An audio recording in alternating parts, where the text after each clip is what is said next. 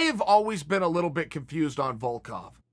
And I'm not trying to be a jerk right here in the least, but I don't have a terribly nice way to say it. It's as though somewhere over time, it's going to be revealed to us that Volkov has like an uncle or an aunt or somebody within the ranking department. I haven't the foggiest idea how he got to where he's at. His record is very decent, for sure. His significant wins come over. Well, okay, not a significant win, but a meaningful win would be when he beat. Well, here, here's a win that I can tell you with Volkov without even looking. Just, but a win that he has. This one's baffling. The first time I ever heard of Volkov, he had weighed in to be a replacement fighter for the heavyweight championship between Stipe versus DC the first time. The first time I've heard of him. That's not a knock on him. That appears that Chael needs to do a little bit better research. So I started. Okay, they got this guy Volkov. I better look into this guy. He's a tall drink of water, and they're saying he could fill in as soon as tomorrow night and fight for the strap. What's wrong with me? So he gets booked in another fight, and this was the first time I was able to lie, uh, uh put eyes on him and he got worn down and finished by an out of shape Derrick Lewis at the last minute. I, I just don't have a whole lot of pleasantries to put on this. And this isn't while trying to be a jerk. It's actually just the opposite. I'm merely setting the stage for you that if he goes out and gets the jump on Curtis Blaydes, that's going to mean something and maybe mean something extra for me. I'm not denying a guy's skills just because he hasn't had meaningful fights and meaningful wins. I am a little bit baffled how in a perennial division like heavyweight, you get a guy with no meaningful wins, arguably no meaningful fights. I can't remember a headlining fight. I can't remember a, a, a co-main spot. Doesn't mean they didn't happen. I just can't recall them for you that he was in and or won. Not only do I believe he's not in the five round club, I don't know that he has ever been scheduled for five rounds aside from this match coming up with Curtis Blaydes. But that does beg you a lot of questions, particularly when he wore out against Derrick Lewis. And you can tell me that he got knocked out. I saw him get knocked out. It's why. He didn't have his feet under him. He was too tired to keep his hands up, he got caught on the chin by a guy who was exhausted and threw a Hail Mary. None of this is a knock.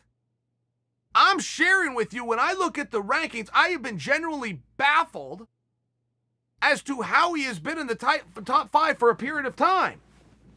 Win over Curtis Blaydes, we're singing his praises. Win over Curtis Blaydes would only uh, solidify what the Poindexters that put a number next to his name in the first place saw that I didn't.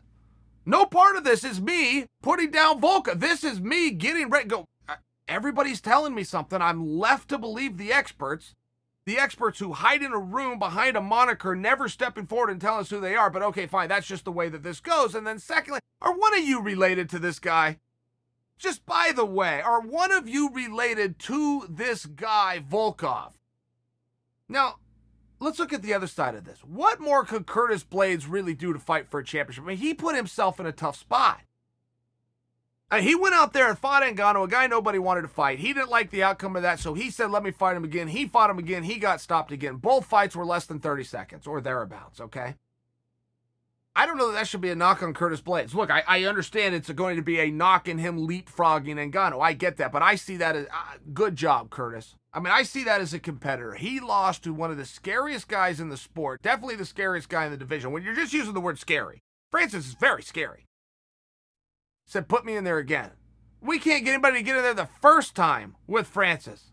Curtis Blaydes walked out there, did that twice, and I'll bet you if you give him an opportunity, he'll walk out there and do it a third time. But what do you do with Curtis? Where does the motivation come when a path to a championship is so unclear? Well, I don't know that it's all that unclear. I don't know that I quite see it that way. Now, you're going to need some ifs and some buts, but that's what dreams are made of. That's what this happens with this sport all the time. See Gilbert Burns for a recent example. If and buts happen all the time. If Daniel Cormier beats Stipe, but doesn't return as he said he's going to do, heavyweight championship is vacant. I don't believe Stipe is going to step right back in for that. I think he's going to need some downtime, let somebody else pick it up. He's going to recover. I think you're going to see two fresh guys in there. I think I could sell you pretty quickly that Ngannou's going to be one half of that, but I think that I could sell you just as quickly that before we give some new guy that's all of a sudden found his balls an opportunity, how about giving it to the guy who had his balls from the beginning?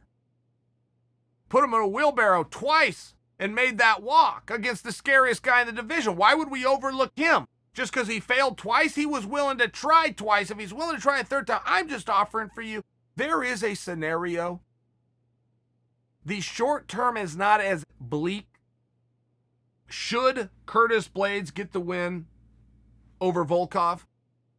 The future as to where he goes is not as bleak as a pessimist may tell you. There's a lot of things that are going to happen in mid August with the heavyweight division. If you eliminate Cormier, okay, great, but the path just got easier for everybody else. If Cormier eliminates Stipe and walks aside, you just open up a path for two guys. I would suggest for you, I will concede to you that Francis needs to be one of those two guys. I would suggest for you Curtis Blaydes needs to be the other.